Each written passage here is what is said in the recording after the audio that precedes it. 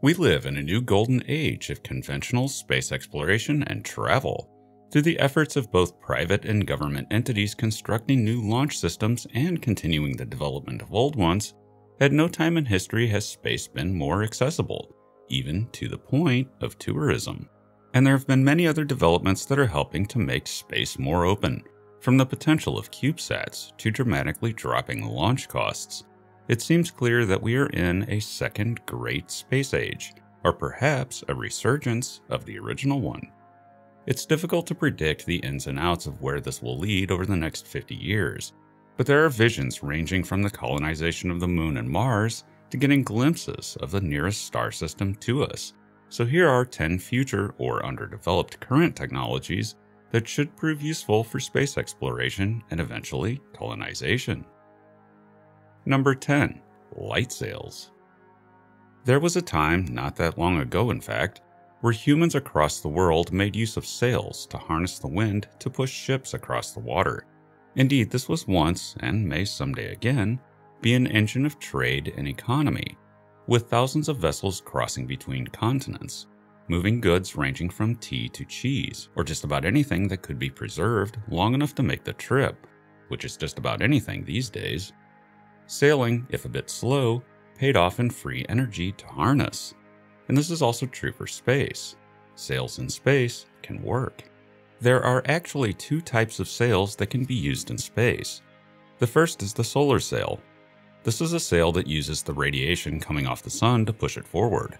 We've already experimented with this, in the form of the IKAROS spacecraft. The advantage to this method is that it requires only the sun's light pressure to move.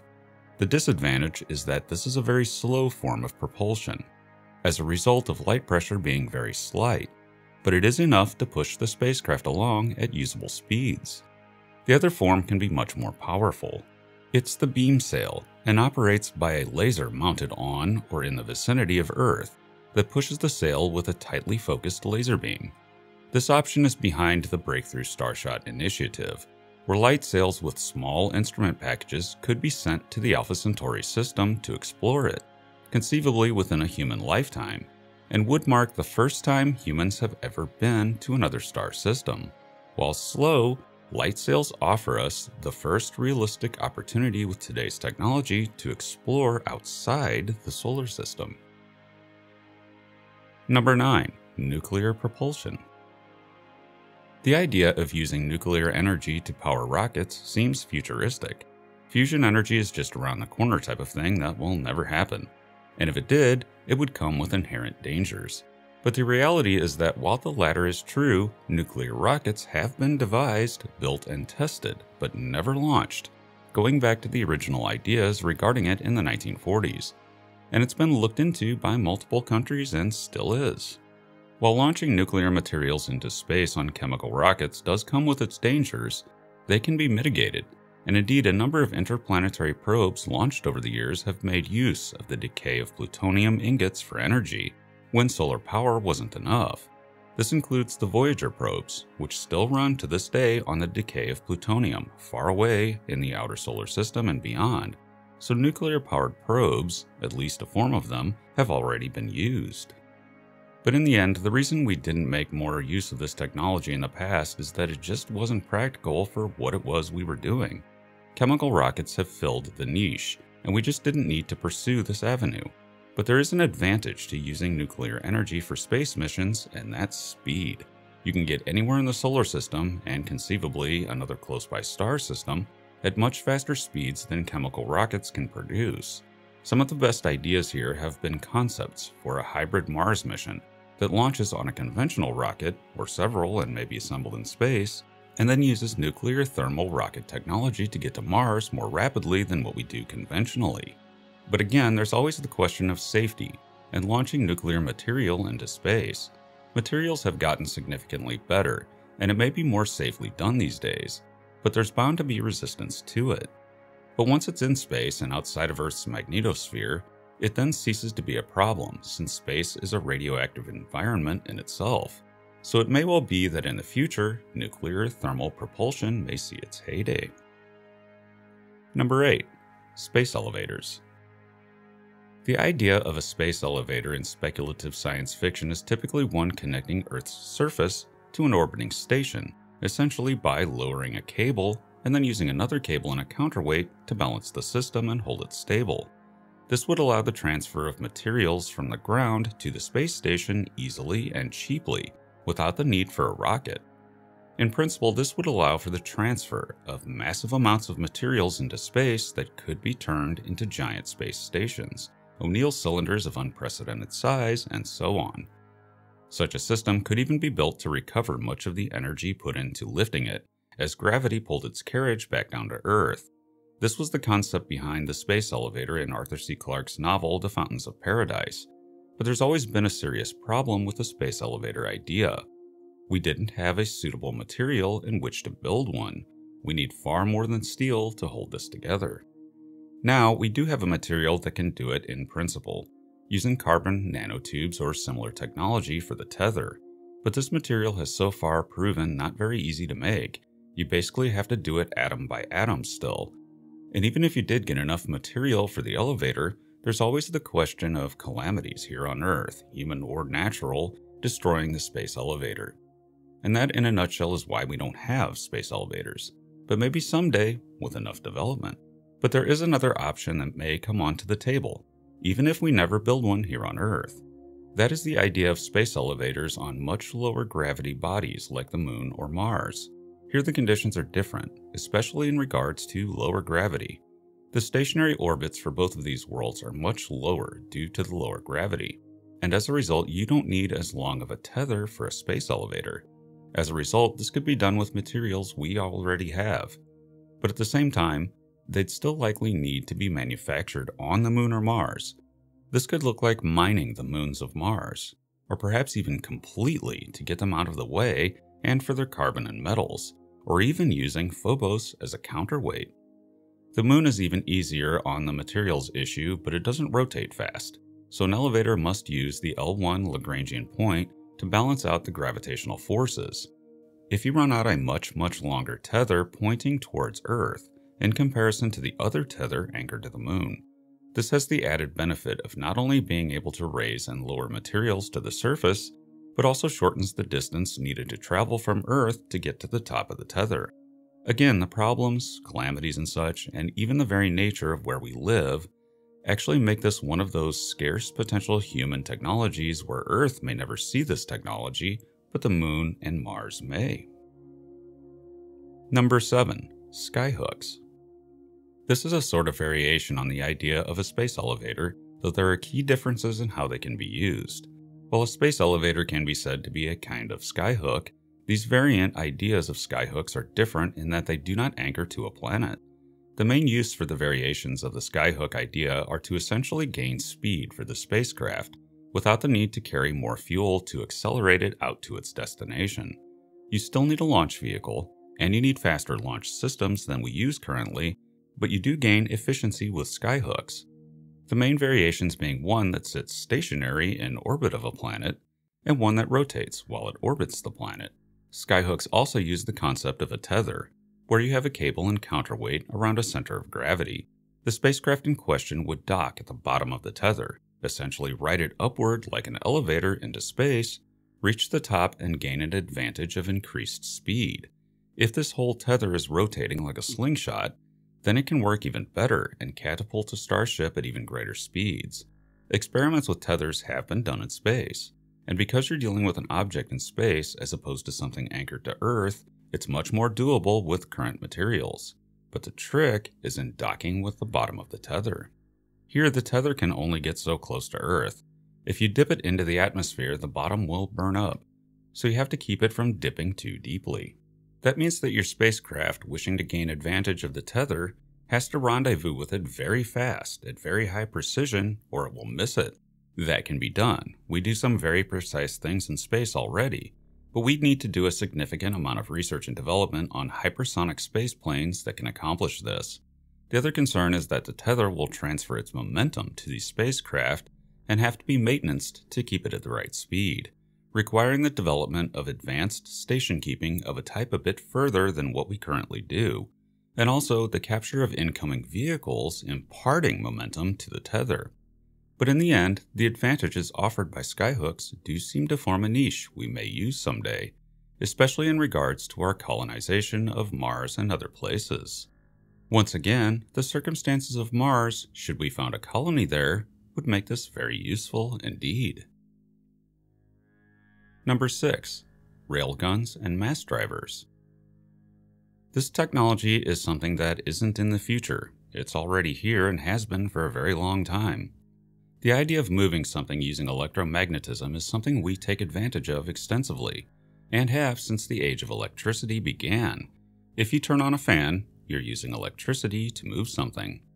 This also applies to accelerating a projectile, and extensive research has been put into developing railguns to replace things like old school chemical naval guns. There's a huge advantage to that, despite development challenges which is safety so long as you aren't on the receiving end. There is no explosive magazine on a ship equipped with these, which was the demise of many warships throughout history. But there is a very extensive use for this technology in regards to space travel. Here, the concept is typically termed a mass driver or some variation thereof, and how you use it really depends on what you want to use it for. Firing mined metals off the surface of an asteroid is a different use than launching humans to the moon with one of these things. For humans, you have to make sure the humans inside the craft can handle the g forces.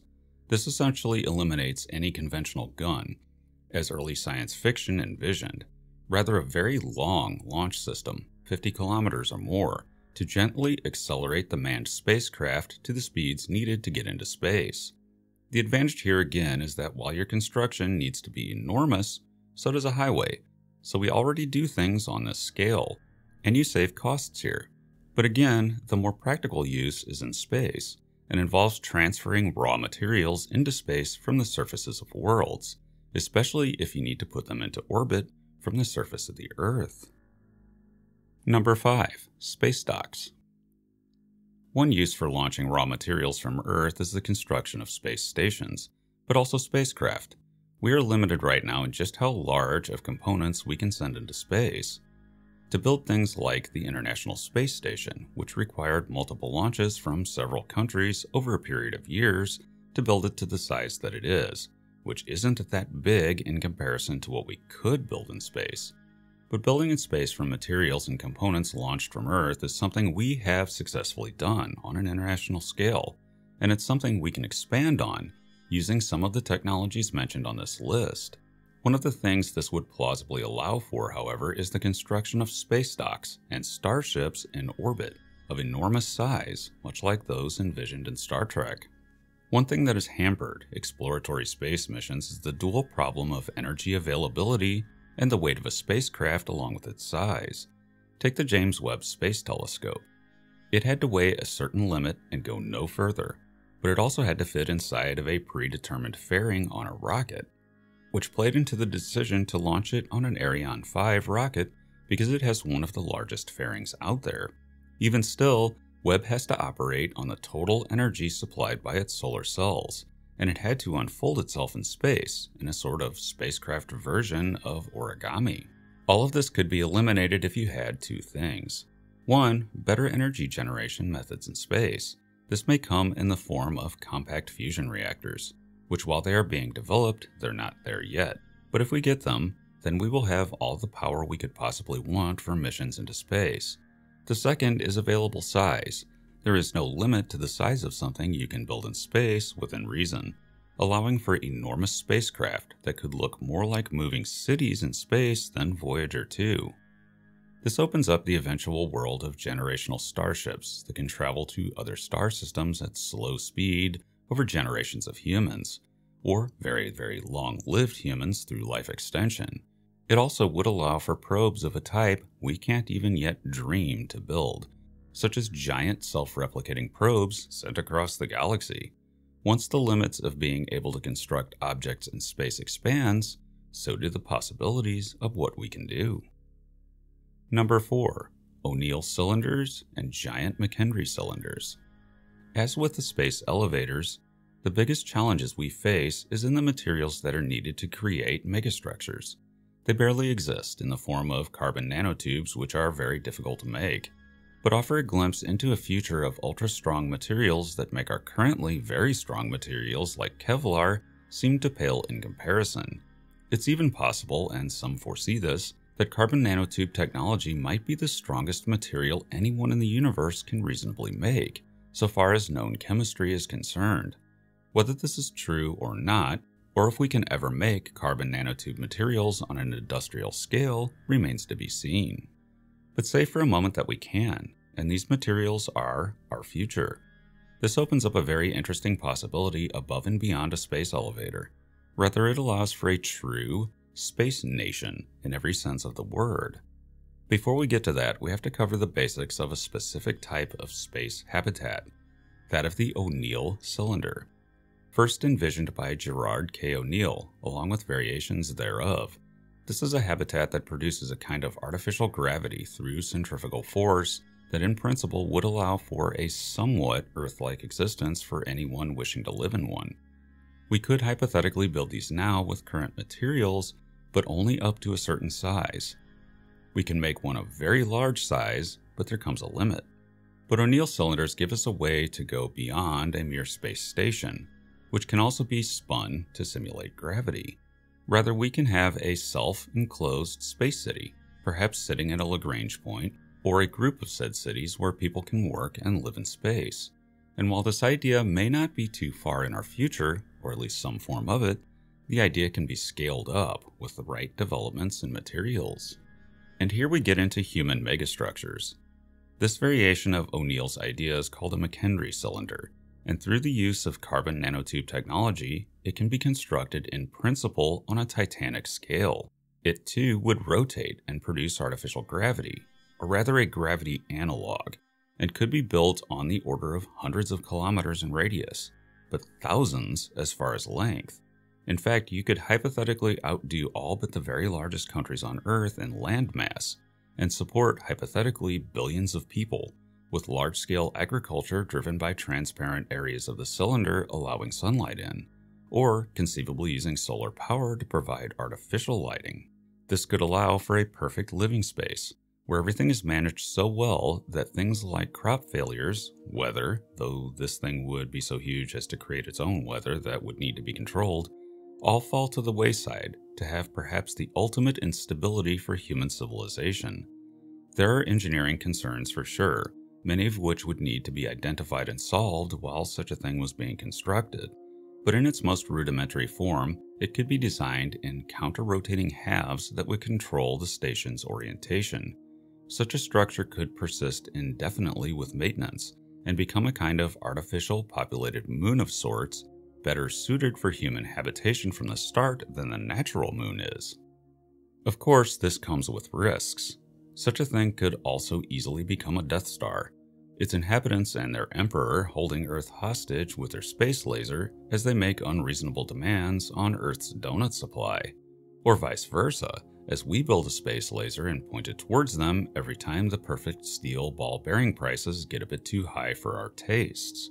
Such an idea, if power sources, fueling, and true self sufficiency could ever be achieved, could even serve as the basis of a generational starship, as has been depicted in science fiction, and colonize a star system that happened to be passing nearby. You could then play with such an idea and envision a kind of camper RV park Milky Way, where cylinders of various alien cultures form settlements around suitable stars.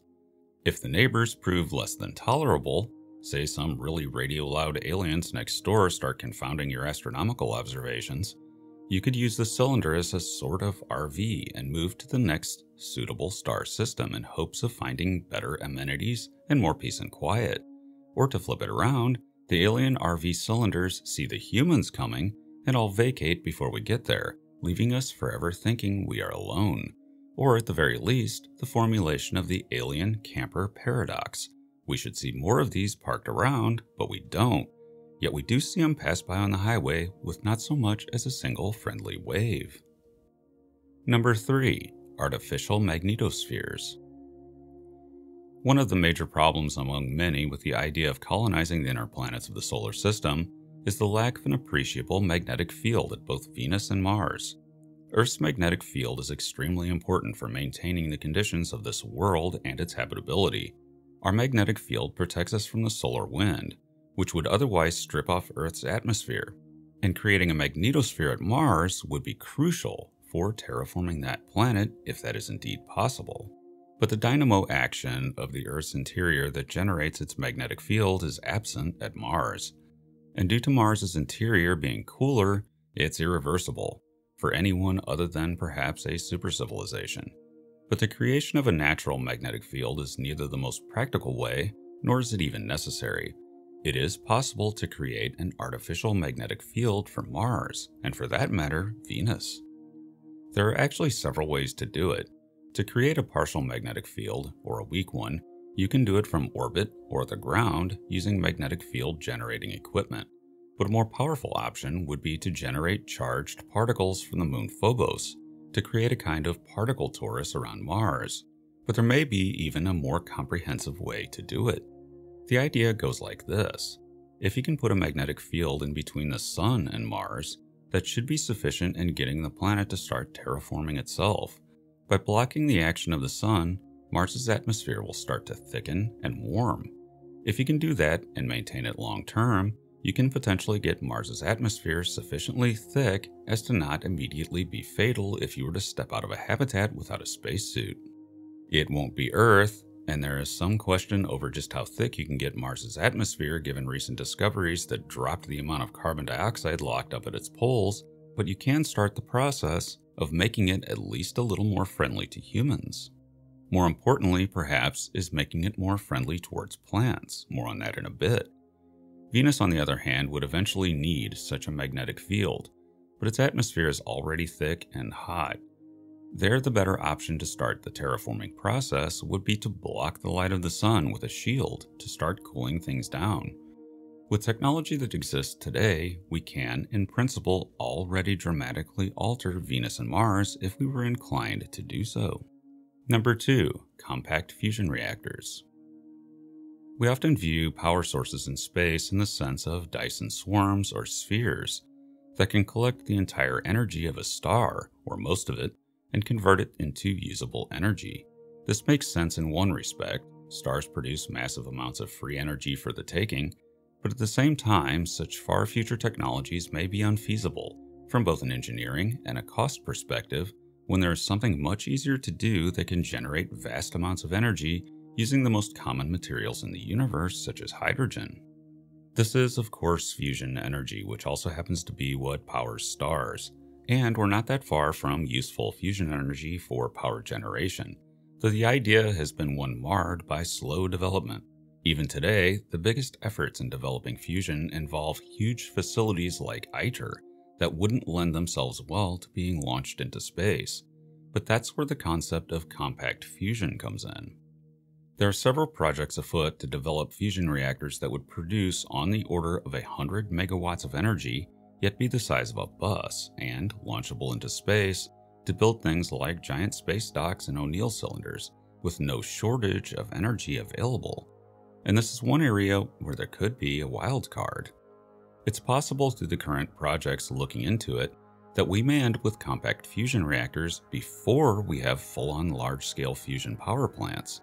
There is some reason to suspect that a breakthrough could happen here, and fusion energy simply appears earlier than expected, as a kind of reversal of the trend that's been going since the nuclear age began. There are no guarantees of this, of course, but the landscape of fusion energy has changed and now looks somewhat different than it did just a decade ago.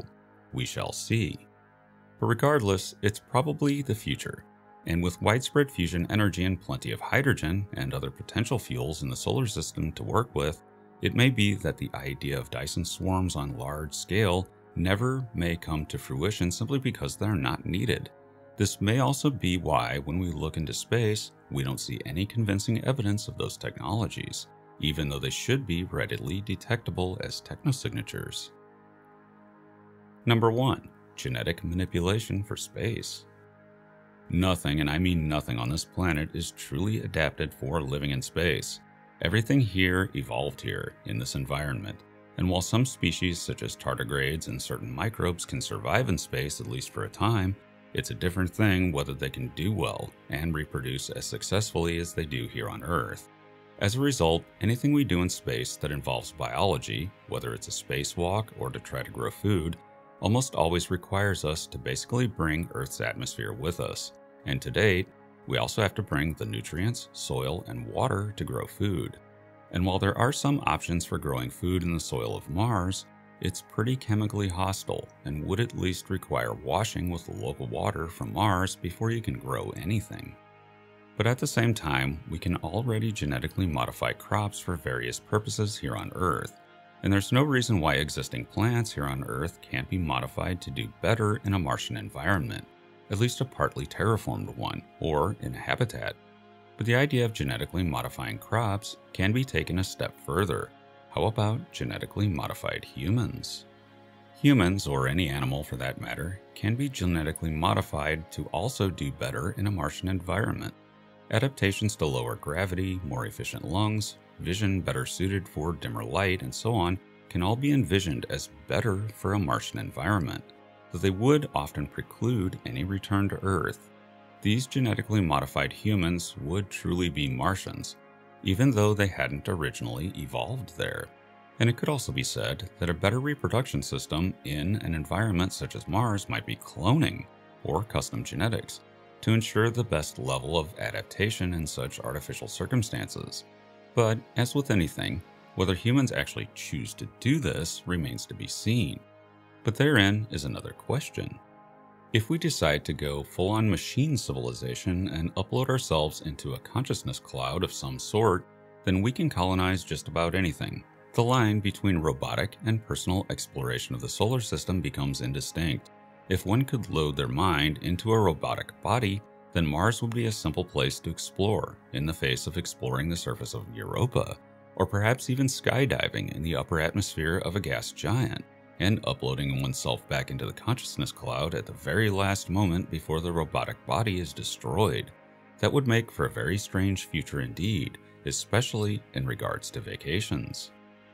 Thanks for listening. I am futurist and science fiction author John Michael Godier, currently worried about uplifted O'Neill cylinder agricultural crops. Think of modified corn that has an overall sense of well being and positivity and feels great about itself. It's totally okay with being eaten, at least until a human walks by, and then everything goes off the rails as this video has at several points. So you walk past a cornfield in the O'Neill cylinder, and the normally happy corn takes on a dark flare and every ear whispers in unison, Memento Mori, the end comes to us all, to stoically remind us humans that we are every bit as mortal as the corn. I'd say grab the butter, but then you come up against the idea of corn immortality. I think I'll just leave that one right there and be sure to check out my books at your favorite online book retailer and subscribe to my channels for regular, in-depth explorations into the interesting, weird, and unknown aspects of this amazing universe in which we live.